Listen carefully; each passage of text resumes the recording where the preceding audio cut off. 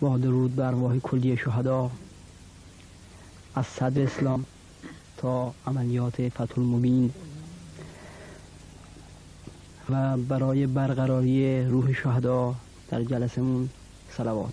اللهم صل علی محمد و آل محمد.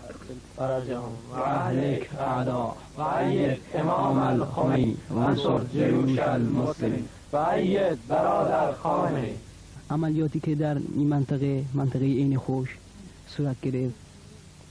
عملیاتی بود که در محور ارتفاعات مملی معروف به تیشکن این خوش صورت گرفت.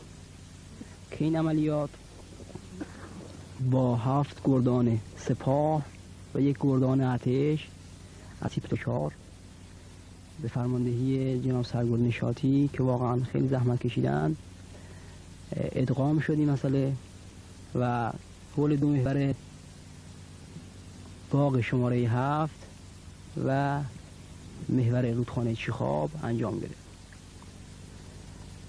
این عملیات با حضور فعال جهاد سازندگی که واقعا نقش شایان و چشمگیر و نمایانی داشت از قبیل اینکه برای ما جاده های تدارکاتی سنگرسازی ارزم حضور شما و کارهای تدارکات آماده کردن ماشین تعمیرات نگهداری مسائل واقعا نقش کمک دهنده به سپاه بود و مسیرهای ما را آماده کرد.